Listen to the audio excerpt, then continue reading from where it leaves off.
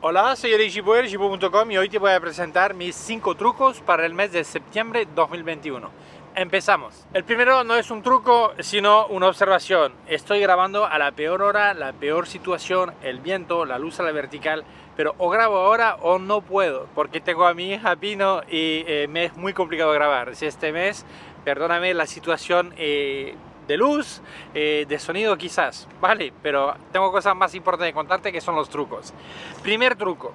Bueno, a veces estás probando eh, un objetivo o una configuración de cámara o eh, sencillamente está haciendo retratos de varias personas y hay un truco para que eh, entre cada serie visualmente cuando tiene todas eh, las viñetas allí puestas pues en el Lightroom lo que sea saber dónde empieza dónde eh, termina pues entre cada serie sencillamente hace una foto de tu mano. Tú pones tu mano delante del objetivo, le haces una foto y así visualmente cuando tú ves todas las viñetas alineadas, tú sabes exactamente dónde empieza o termina una. Es lo que hago cuando hago prueba eh, de objetivo o lo que sea, de configuraciones, pues directamente sé que de aquí a aquí está la configuración, de aquí a aquí es otra y así es fácil, ¿vale? Bueno, aprovecho para decirte que eh, estoy dejando desde hace muchos meses disponible eh, mi pack completo de todos mis cursos en vídeo eh, eh, lo he dejado en pack, eh, está puesto del Black Friday del año pasado.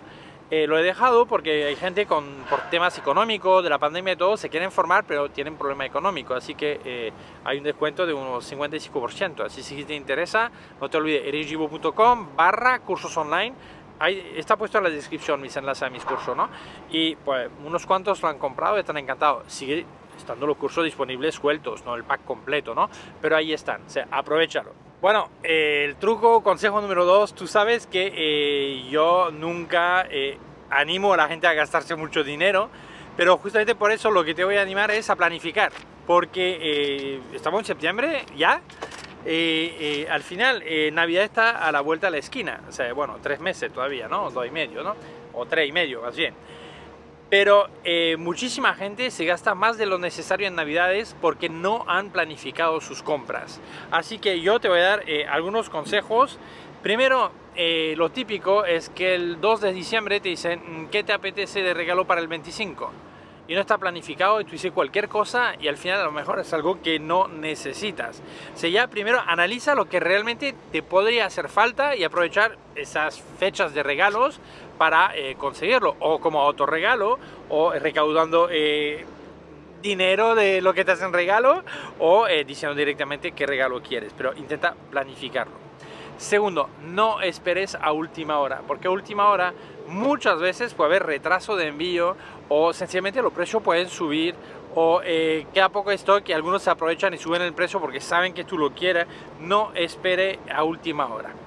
Y tercero, eh, había hecho un vídeo sobre comprar de segunda mano, te dejo el enlace aquí con las la precauciones que hay que tomar y todo, pero aún así es una buena temporada antes de Navidad para comprar de segunda mano, porque muchísima gente va a vender su equipo para comprárselo eh, en, Navidades. Así que eh, es un buen momento. También será un buen momento justo después de Navidades, que hay gente que vende después de haber recibido su nueva cámara, ¿no?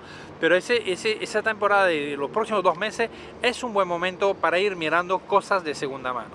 Truco número 3. Eh, otras veces he explicado cómo saber qué objetivo de focal fija te podría interesar bloqueándolo. El zoom, por ejemplo, en 50 milímetros, por ejemplo, y pasas todo el día con el zoom bloqueado a 50 milímetros con una cinta adhesiva. ¿no?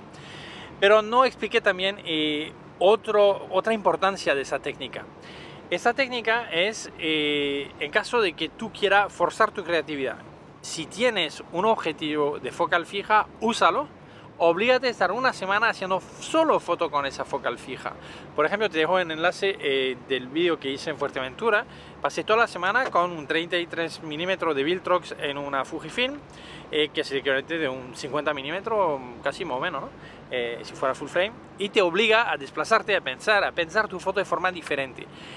usar focales fijas te va a forzar la creatividad. Si no la tiene todavía, pues bloquea tu zoom, oblígate a usar una focal fija bastante tiempo, no solo cuatro fotos, sino un día entero. Aunque tú tengas la posibilidad de cambiar eh, la focal, no la cambies, oblígate y va a mejorar tu creatividad. Truco número 4, consejo número 4, volviendo a las navidades. eh, no esperes el último momento para entrenar a hacer fotos de familiares, eh, apertura de regalo, eh, grupos, todo. Muchísima gente falla sus fotos de familia en navidades porque no se ha entrenado. Aprende a usar tu flash, aprende a encuadrar, aprende a ver cuál es el modo de autofoco que mejor te conviene, aprende a hacer fotos con poca luz en exterior, en interior, ya sale a la calle, aunque las decoraciones de navidades no, la luz no están puesta, nada te impide ver luces de calle normales y aprender a eh, exponer para esas calles, todas esas cosas.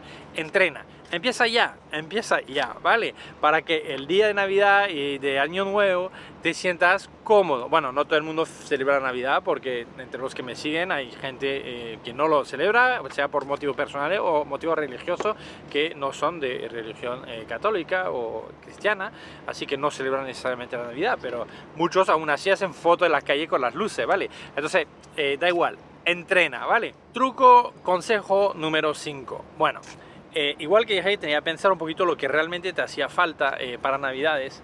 Yo creo que un par de veces al año, eh, bueno, depende si eres de comprar mucho o poco, ¿no? Pero una vez o dos veces al año debería ser un análisis de exactamente todo el equipo que tiene. Cámara, accesorio, objetivo, lente, trípode, todo, todo, todo. Hacer una lista completa y hacer una evaluación de lo que realmente usas de forma muy habitual, poco habitual o nunca.